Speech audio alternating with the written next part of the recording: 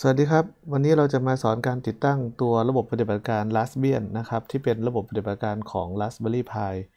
โดยที่เราจะติดตั้งอยู่บน Windows นะครับ อยู่บน Windows แต่ว่าเราจะติดตั้งอยู่ จะใช้ตัวโปรแกรมตัวหนึ่งที่เรียกว่า VirtualBox นะครับ ที่เป็น Virtual Machine เหมือนกับเป็นการจำลอง Raspberry Pi ให้ทำงานอยู่บน Windows ของเรานะครับ ซึ่งโปรแกรมที่เราต้องใช้ก็คือโปรแกรมที่ชื่อว่า VirtualBox นะครับ โดย VirtualBox เนี่ยเราสามารถดาวน์โหลดได้นะครับ เราเข้าไปที่เว็บไซต์นะครับแล้วก็เสิร์ชใน Google หาคำว่า VirtualBox นะครับโทษทีครับ VirtualBox นะครับ VirtualBox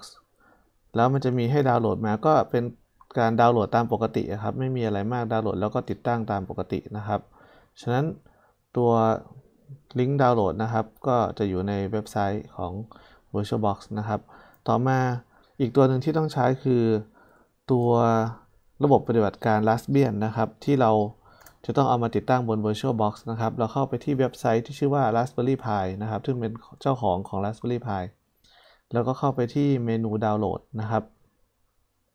ตรงเมนูดาวน์โหลดเนี่ยจะมี OS หรือว่าระบบปฏิบัติการหลายตัวที่จะทำงานกับ Raspberry Pi ได้นะครับ ทีนี้ตัวที่เราจะใช้ก็คือตัวที่เป็น Raspberry Pi Desktop สำหรับ PC แล้วก็ Mac นะครับ เพราะว่าเราเอามารันอยู่บน Virtual Machine ที่มันอยู่อยู่บน Windows ฉะนั้นเราจะใช้ตัวนี้นะครับ แล้วก็เข้าไปที่ตัว Raspberry Pi Desktop พอเข้าไปปุ๊บนะครับ จะมีให้ดาวน์โหลดนะครับ เป็นลักษณะเป็น torrent หรือว่าจะเป็น ISO ก็ได้ ก็เราดาวน์โหลดมา ในตัวอย่างนะครับที่อาจารย์ดาวน์โหลด ก็คือตอนนี้อาจารย์ดาวน์โหลดมาเสร็จแล้วนะครับอาจารย์เอาไว้ที่ Desktop มันจะมีขนาดอยู่ประมาณ 2 จุด 2.35 กิกนะครับ 2.35 กิกอันนี้จะเอาไว้ที่เดสก์ท็อปแล้วเรียบร้อยนะครับ หลังจากที่เราได้โปรแกรมมา 2 ตัวแล้ว อ่า ต่อไปเราเริ่มติดตั้งโปรแกรมนะครับ โดยตัว VirtualBox นะครับ ถ้าติดตั้งลงไปในเครื่องคอมเราแล้วเรียบร้อย มันจะขึ้นมาเป็นแบบนี้ครับ ว่าเป็น Oracle VM Virtual VirtualBox นะครับ เราเข้ามาปุ๊บหน้าตามันจะเป็นประมาณนี้ ของหลายๆคนที่เพิ่งติดตั้งใหม่ทางซ้ายมือจะไม่จะไม่มีแบบนี้นะครับ แต่ว่าในเครื่องนี้ที่อาจารย์ใช้ก็คือ มันใช้ลงเกี่ยวกับตัวจำลองมือถือไปด้วยนะครับ ฉะนั้นไม่ต้องไปสนใจนะครับ เริ่มต้นเราต้องสร้าง virtual machine ขึ้นมาก่อนนะครับ ตัว virtual machine คือตัวจำลอง Raspberry Pi ในเครื่องของเรา ฉะนั้นเราก็กดที่ new ครับ แล้วเราก็เลือกว่า Raspberry Pi ของเราเนี่ยเป็น Linux นะครับ โดย Linux ของ Raspberry Pi เนี่ยมันมาจาก Debian ฉะนั้นอาจารย์ก็จะเลือกจะเลือกเป็น Debian 32 บิตนะครับ เพราะ Raspberry Pi เป็น 32 บิต อาจารย์จะตั้งว่าตั้งชื่อว่า Raspberry Pi นะครับ เสร็จแล้วก็กด next ครับ หลังจากนั้นก็เขาจะให้กำหนด RAM ก็ RAM ของ Raspberry Pi มันแค่กิกเดียว ฉะนั้นก็เอา default ตามนี้กิกเดียวนะครับ จากนั้นก็จะมาสร้างฮาร์ดดิสให้กับ Raspberry Pi ซึ่งถ้าเป็นตัว Raspberry Pi จริงมันคือ SD card แต่อันนี้เราอยู่ใน Virtual Machine ก็คือจะเป็นฮาร์ดดิสนะครับ ก็สร้าง create ขึ้นมาเลย หลังจากนั้นประเภทฮาร์ดดิสจะเป็นแบบไหน เราก็ให้เป็นแบบ VDI default ของมันเลยนะครับ ไม่ต้องเปลี่ยนอะไร ขนาดของฮาร์ดดิส จะให้เป็นแบบ fix ก็คือจองไว้เลย8อ่ากี่กิกะไบต์หรือจะเป็น auto นะครับเป็น dynamic ก็คืออาจารย์ให้เลือกเป็น dynamic นะครับคือให้เป็น auto ไม่ต้อง fix ขนาดนะครับ โดยที่ขนาดสูงสุดที่มันจะจองได้ก็คือ8กิกนะครับฉะนั้นเราก็ next ไปเรื่อยๆ แล้วก็ create นะครับ พอ create เสร็จปุ๊บเราจะได้ virtual machine ขึ้นมาตัวหนึ่งตามนี้นะครับ virtual machine ตอนนี้ก็คือเหมือน raspberry pi ที่อยู่ในเครื่องคอมของเรา หลังจากนั้นเราก็ทำการเปิดเครื่องนะครับ พอเปิดเครื่องกดที่ปุ่ม start นะครับ ปุ่มที่ start หรือ double click ก็ได้ มันจะขึ้น มันจะมีหน้าต่างถามขึ้นมาว่า ตอนนี้คุณจะเปิดเครื่องแต่ว่าใน Raspberry Pi คุณไม่มี CD ไม่มีระบบปฏิบัติการอะไรเลย ให้คุณเลือกนะครับ ว่าระบบปฏิบัติการของคุณอยู่ที่ไหน ซึ่งเราจะต้อง browse นะครับ กดปุ่ม browse นะครับ ตรงนี้ให้ browse ไปที่ desktop ของเราที่เราดาวน์โหลดไฟล์ ISO มานะครับ เราเลือกที่ไฟล์ ISO แล้วก็กดโอเค Open นะครับ กด Open เสร็จปุ๊บเราก็กด Start ซึ่งมันก็จะเหมือนกับการใส่แผ่น CD หรือใส่ SD card ที่มีที่มีตัวติดตั้งระบบปฏิบัติการ Raspbian นะครับ จากนั้นมามันจะถามว่า จะให้เราทำเขาเรียกว่าจะให้เราติดตั้งเนี่ยแบบรูปแบบไหน จะให้รันจากจากตัว ISO ไฟล์เลยหรือเปล่า ให้เป็นตัวรันเฉยๆไม่ต้องติดตั้งนะครับ ก็เป็นตัวแรก แต่ถ้าเราจะติดตั้งลงใน VirtualBox นะครับ หรือใน Virtual Machine เนี่ย มันมีให้เลือก 2 ตัวคือ คือตัว Graphical install กับตัว install ธรรมดา ซึ่ง graphical ก็คือเป็นเป็นกราฟิกครับ มีใช้เมาส์ใช้อะไรได้ แต่ว่าที่ที่ง่ายหรือว่าถนัดก็ไม่ต้องอะไรมากก็เป็น install ธรรมดานะครับ เราเลือกเป็น install ธรรมดากด enter ผ่านไปนะครับ หน้าจอก็จะขึ้นมาเป็นลักษณะของการติดตั้งนะครับ เหมือนกับบน Raspberry Pi จริงเลย ทีนี้ มันก็จะถามบอกว่าคีย์บอร์ดเราเป็นภาษาอะไร ตอนนี้เราเป็นไทยนะครับ เราก็ใช้คีย์บอร์ดไทยนะครับปึ๊บกดโอเคกด enter นะครับ โทษที จากนั้นมาก็การเปลี่ยนภาษาจะเป็นภาษาอะไรเราก็ alternate shift ตามปกตินะครับ เราก็กด enter ผ่านไปนะครับ ระบบก็จะเช็คฮาร์ดแวร์หรือเช็คตัว virtual machine นะครับ ตัวติดตั้งไอ้ระบบปฏิบัติการเนี่ยก็จะทำการเช็ค ซึ่งขั้นตอนเหล่านี้นะครับ มันอาจจะช้าหน่อยนะครับ แต่ว่าอาจารย์ก็จะไม่ไม่ stop นะครับ ก็คือจะปล่อยให้มัน run ไปเรื่อยๆนะครับ แล้วก็ดูว่าตรงไหนที่มันจะต้องปรากฏอะไรยังไงบ้าง แต่ถ้าตรงไหนที่มันช้าอาจจะต้องมีการสคริปวิดีโอข้ามไปนะครับ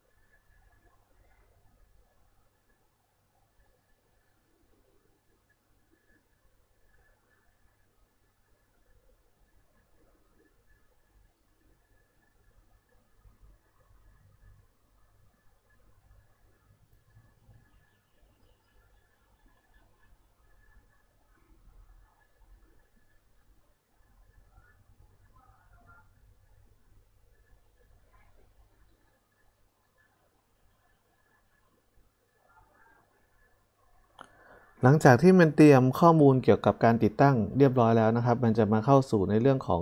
การแบ่ง partition ของดิสนะครับ ซึ่งมันสามารถแบ่งได้แบบแมนนวลหรือตามที่เราต้องการ แต่ทีนี้เพื่อความง่ายนะครับ เราไม่ต้องทำอะไรเราก็กดค่า default ของมัน มันเป็นค่า default ยังไง เราก็เอาตามนั้นไปก่อนนะครับ อย่างเช่นตัวแรกจะเป็นแบ่ง partition ด้วยวิธีอะไรก็แบบแรกครับ ก็คือเอาทั้งดิสเลยเป็นเป็นอันเดียวเลยนะครับ ก็กด enter ผ่านไปนะครับ มันก็จะบอกว่าทางดิสของคุณเนี่ยเป็น partition แบบนี้นะโอเคไหมก็กด enter ผ่านไปนะครับ หลังจากนั้นนะครับ ก็พอพูดถึงว่ารูปแบบของ partition เป็นแบบไหน คือค่า default มันเซตมาโอเคแล้วนะครับ ฉะนั้นเราก็เซตให้ตามนี้เลยนะครับ เป็นปกติ แล้วมันก็จะทำการแบ่ง partition จนกระทั่งเขาเรียกอะไรตั้งค่าของการแบ่ง partition จากนั้นแล้วก็กด finish เพื่อให้มันเริ่มทำการแบ่ง partition พอกด finish ไปปุ๊บเนี่ยการแบ่ง partition คือการลบข้อมูลหรือการจัด ระเบียบข้อมูลใหม่ ฉะนั้นมันจะถาม confirm อีกครั้งหนึ่ง แล้วก็กดให้เลือกมาที่ yes นะครับ แล้วก็จะทำการแบ่ง partition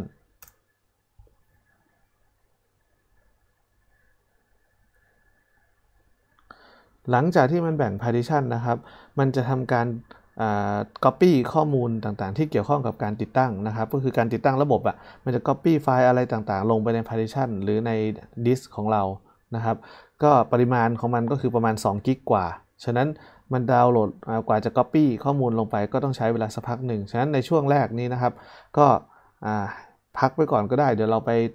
นั่งจิบกาแฟ แล้วก็ไปเอนหลังสักพักหนึ่งก็ได้นะครับ ประมาณประมาณ 5 นาทีนะครับ ประมาณ 5 นาที แล้วแต่เครื่องด้วยแหละ ถ้าเครื่องไหนช้าก็อาจจะช้ากว่านั้นนะครับ ถ้าเครื่องไหนเร็วก็ประมาณ 5 นาที ช่วงแรกจะค่อยๆ กระเตื้องกระดึบกระดึบกระดึบขึ้นไปทีละไม่กี่เปอร์เซ็นต์นะครับ หลังจากนั้นจะค่อนข้างเร็วจะค่อยๆเร็วขึ้นตั้งแต่ ประมาณ 30%ขึ้นไปก็จะเริ่มเร็วขึ้นแล้วนะครับ ฉะนั้นตอนนี้ก็ไปพักผ่อนก่อน รอให้มัน Copy ข้อมูลแล้วก็ติดตั้งข้อมูลจนเสร็จก่อน แล้วค่อยกลับมาดูอีกทีนะครับ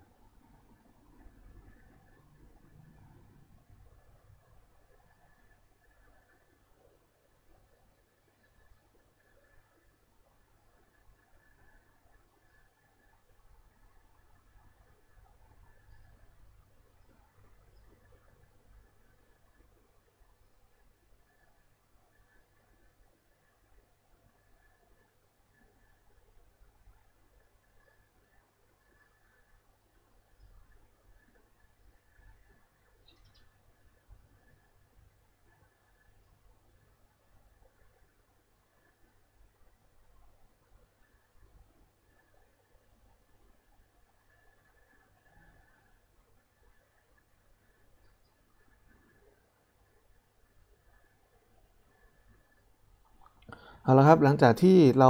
ปล่อยให้มันดาวน์โหลดไอตัวไม่ใช่ดาวน์โหลดท่าทีปล่อยให้มันติดตั้งตัวระบบปฏิบัติการไปเรียบร้อยแล้วนะครับ ตอนนี้มาถึงอีกขั้นหนึ่งก็คือ จะให้มันจะถามว่าให้ตั้งติดตั้ง boot loader ยังไงบ้างนะครับ ค่า default ของมันเป็น yes นะครับแล้วก็กดตามของมันเลยนะครับ ก็คือให้ติดตั้ง boot loader ไปเพราะไม่งั้นก็จะ boot ไม่ได้นะครับ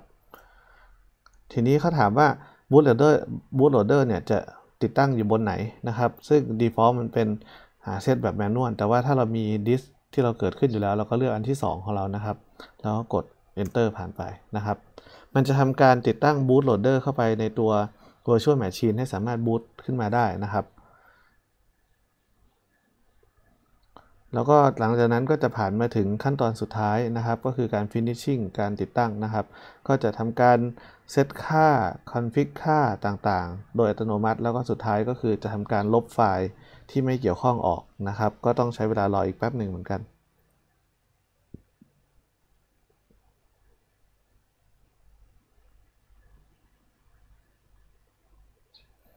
โอเค ตอนนี้เสร็จเรียบร้อยแล้วนะครับ ก็มันก็มีปุ่มให้กด continue นะครับก็ติดตั้งเสร็จเรียบร้อยนะครับ พอติดตั้งเสร็จเรียบร้อยมันจะทำการ remove นะครับ สิ่งที่ไม่เกี่ยวข้องออก ก็คือพวกไฟล์ติดตั้งหรืออะไรต่างๆที่มันไม่ได้ถูกใช้งานแล้วนะครับ ก็จะทำการลบออก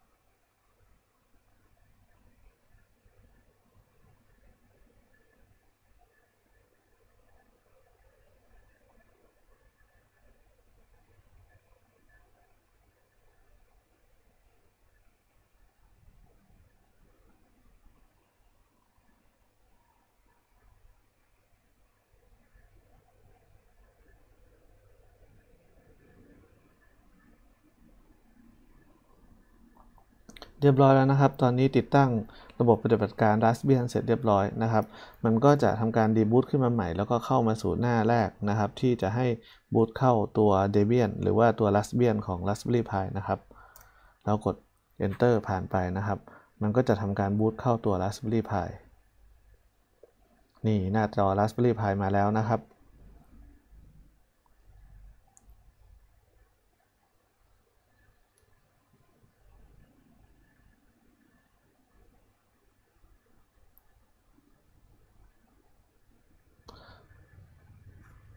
นี่ครับหลังจากที่มันบูตขึ้นมาเสร็จแล้วเนี่ยจะขึ้นเป็นหน้าแรกเป็นหน้า Welcome นะครับในการ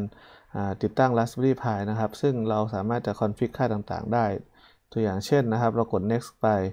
มันจะมีให้เซตค่าพวกประเทศพวกอะไรต่างๆ พวกนี้ แต่ว่าตอนนี้อาจารย์ขอยังไม่เซตค่าอะไรเลยนะครับอาจารย์ขอเป็นค่า default ของมันก่อน แล้วก็หลังจากนั้นก็กด next ต่อไป พอกด next ต่อไปปุ๊บ มันจะถามให้เปลี่ยน password นะครับ เพราะว่าโดย default ของ user ที่เป็น admin นะครับ ชื่อว่า user คือ pi นะครับ ส่วน password คือ raspberry ซึ่งมันเป็นเขาเรียกว่ามันไม่ปลอดภัยเพราะทุกคนต่างรู้อยู่แล้วว่ามันเป็นค่า default นะครับ ฉะนั้นให้เราเปลี่ยน password เป็น password ที่เราต้องการเองนะครับ เช่นตอนนี้อาจารย์ก็กำลังเปลี่ยน password นะครับ เป็นอะไรก็ได้ขอให้จำได้นะครับ แล้วก็กด next ต่อไปอะตอนแรกตัวแรกอาจารย์พิมพ์ไม่ถูกเอาใหม่ปึ๊บอ่าเสร็จแล้วก็กด ถ้าพอถึงตรงนี้นะครับก็มันจะถามว่าให้อัปเดตซอฟต์แวร์ไหม ถ้าเรากด next มันจะอัปเดตซอฟต์แวร์ให้ Raspberry Pi ของเราตัวเนี้ยหรือ Raspbian ตัวเนี้ยมันอัปเดตที่สุดนะครับ แต่ว่าอาจจะใช้เวลานิดนึงอาจารย์จะขอ skip ข้ามไปก่อนเดี๋ยวค่อยอัปเดตทีหลังนะครับ แล้วหลังจากนั้นจะให้ reboot อีกรอบหนึ่งนะครับ ทีนี้พอ reboot ขึ้นมาเนี่ยนี่คือขั้นตอนสุดท้ายแล้ว อพอมันรีบูตขึ้นมาปุ๊บ มันจะเข้าที่ตัว Raspbian ที่เราติดตั้งนะครับ อยู่บน Virtual Machine ในเครื่องของเรา ซึ่งเราจะสามารถจำลองการทำงานหรือว่าเขียนโปรแกรม หรือว่าทดสอบอะไรต่างๆ ของ Raspberry Pi ได้นะในเครื่องของเรานะครับ ที่ไม่ต้องไปรันบน Raspberry Pi ตัวจริงนะครับ ซึ่งมันทำให้เราสะดวกในการศึกษาเรียนรู้มากขึ้นนะครับ นี่หน้าตาคือของ Raspbian นะครับ หน้าตาจะเป็นแบบนี้นะครับ ฉะนั้นอันนี้คือเสร็จขั้นตอนของการติดตั้งตัว Raspberry Pi นะครับไอตัว Raspbian บน Raspberry Pi บน Virtual Machine ในเครื่องคอมนะครับในใน Windows ของเรานะครับ เดี๋ยวจะเจอกันอีกทีในสไลด์ในวิดีโอถัดไปนะครับ เพราะเดี๋ยวเราจะต้อง config ค่าต่างๆ เพิ่มขึ้นนะครับ